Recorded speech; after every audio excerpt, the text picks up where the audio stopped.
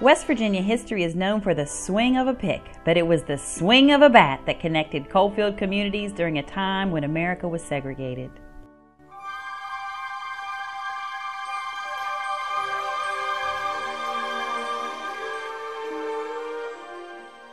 Baseball was a popular leisure time activity in the coal fields of southern West Virginia. Every little coal town had its own team, and every little boy, black and white, has its dream of becoming a baseball player during the first half of the 20th century. There were coal company leagues, United Mine Worker leagues, and Negro leagues. Coal camps and baseball were segregated affairs. Even though blacks and whites had separate teams, they often played each other during exhibition and all star games.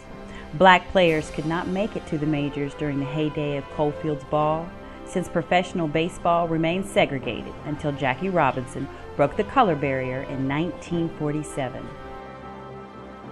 The miners would often work 40 hours in the mines, and some would end up playing as many as four games a week.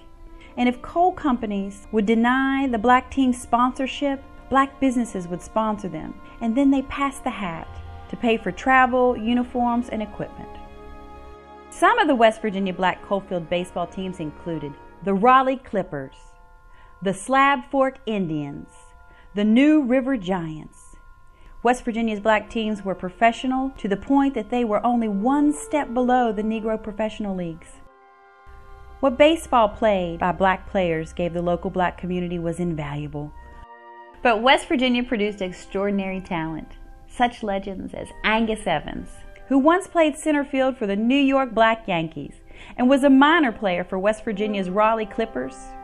And Clint Hawk Thomas earned his nickname the Hawk for his ability to dart across center field and pounce on anything in his vicinity. Baseball in the coal field served as common grounds Everyone participated, whether by playing baseball on the field, coming to the games, or contributing a little money. The heyday of Coalfield baseball peaked just prior to World War II, for it was these great men who built an industry and never hesitated to give back to their communities. Some call them miners who played baseball. We call them American heroes.